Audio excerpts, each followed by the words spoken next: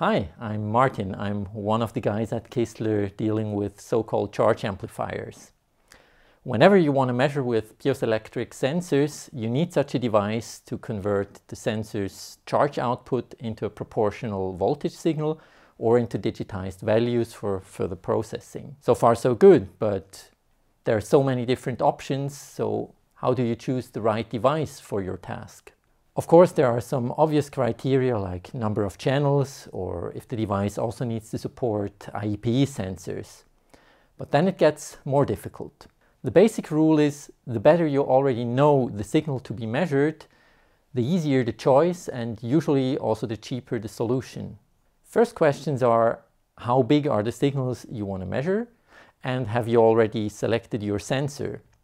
If so, you should have the sensitivity value which tells you how many picocoulombs the sensor delivers per physical quantity, like Newton, for example.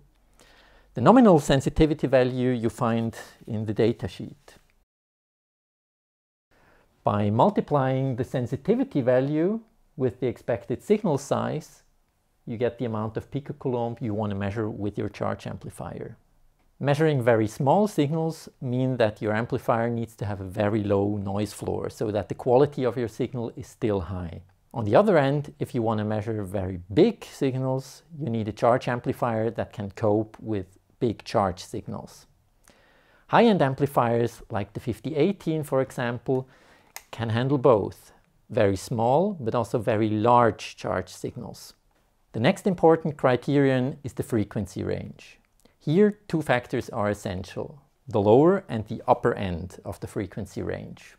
Other than one might expect, the lower end is technically challenging on a charge amplifier. Piezoelectric sensors deliver relatively small charges as a signal. So basically every lost electron means lost signal. The slower a signal is, the more difficult it is not to lose any electrons by low insulation. So if you want to measure very slow signals, let's say far below 0.1 Hz, we call it quasi-static.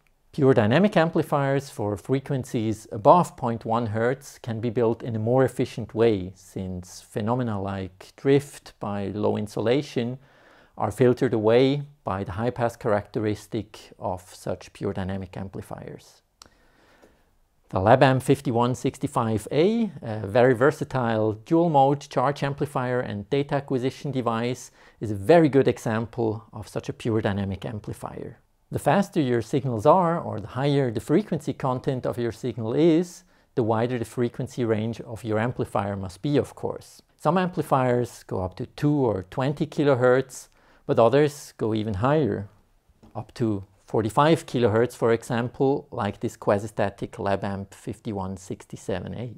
High-end laboratory amplifiers have their minus 3 dB limit at 200 kilohertz, like this 5080, for example. So summarized, the more you know about your signal in terms of signal amplitude and frequency, the more targeted your amplifier selection can be. The less you know about your signal, the more it might be worthwhile to think about a high-end charge amplifier since this device covers basically every piezoelectric signal. Check out our signal conditioning product finder on kistler.com or ask one of our experienced sales colleagues in your region. They for sure know how to help you.